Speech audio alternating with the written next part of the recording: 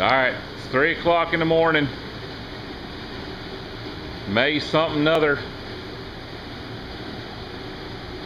I think me, me and Mike are pretty damn tired. We got our stripe on.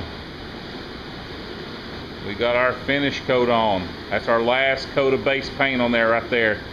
We got a couple of spots where we're going to do some touch-up spraying tomorrow before the clear goes on. But that's it, sports fans. We're in the pink. There's my other stripe across the trunk. Top.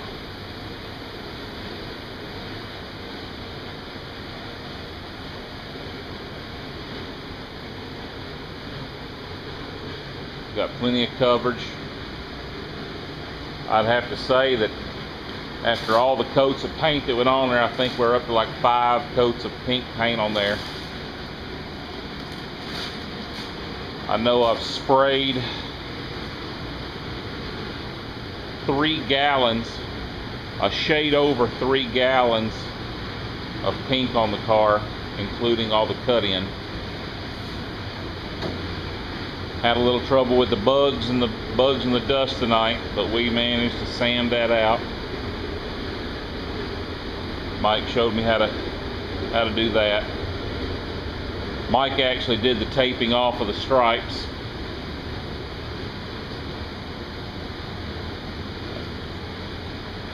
I figured it'd be best to leave that to him. I could really screw that up real quick like.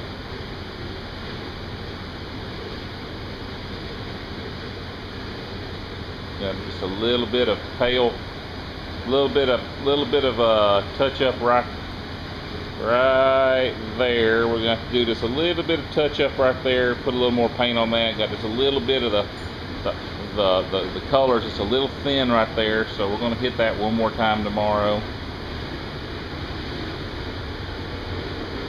Along with a couple of I don't know if you can pick them up on the drawings. You might be able to see them up there. Uh, you can see some little, little, little patches just there on the other side of the black stripe where we had some some gnats or something work their way in.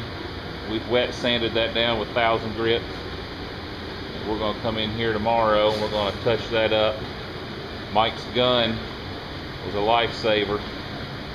Uh, his gun lays that paint down a hell of a lot nicer than that finish line does, but you know, it's kind of hard to compare the two guns. One's $175, the other one's a $700 gun, so it's kind of not even fair to compare the two.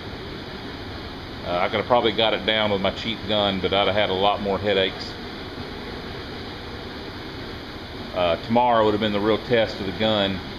That that that finish line gun that I bought, it's it would have probably struggled really hard with the clear coat tomorrow, but we got an Iwata gun for that and he's going to let me borrow. He's going to let me ruin his Iwata gun tomorrow. How much does that Iwata gun go for? That's it?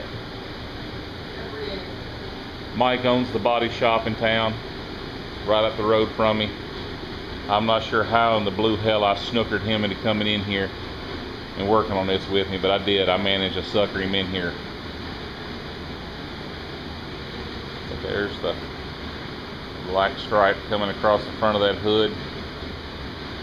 Tomorrow I'll probably break out the hood scoop before he ever gets here and scuff and sand it up and get it smoothed down and then I'll probably lay some black paint on it too. That way we can clear coat it with the rest of the car and then get that damn hood scoop bolted down Nothing to make me happier to see that hood scoop on there.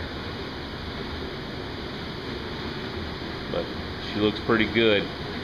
Strangely enough, after talking with Mike, he's he's learning me some stuff here. And uh, all this texture, you probably can't see it on the video, but all this texture that's in the in the paint, he says that the clear coat will bury it. And I have to believe him. He owns a body shop. I'd like to think he knows what the hell he's doing. That's uh, that's the state of the union right there.